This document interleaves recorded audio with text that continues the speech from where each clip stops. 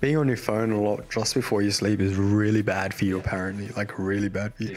I don't know what sort of scientific or whatever effect this has, but all all I know is like, like it it it, it, it impacts it, your sleep really negatively. You, you like it.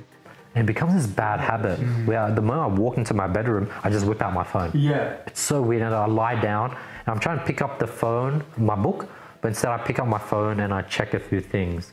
And I end up checking a few things for the next half an hour. Yeah, like I just, I, I don't know. It's, it's just something that I do all the time now. Like I, I close my lights. I turn, sorry, I turn my lights off.